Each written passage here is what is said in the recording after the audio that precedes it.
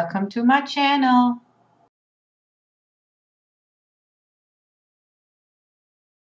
Today I have a quick video for y'all and um, the only thing I did, um, I put some um, transparent green um, resin with some resin that's been colored with mica powder but not uh, really opaque so the light shines through um, just a little bit so it gets a little bit of a sparkle. And uh, I pour this in uh, my coaster molds and after that is cured I put some stickers on and I top the whole thing with some clear resin.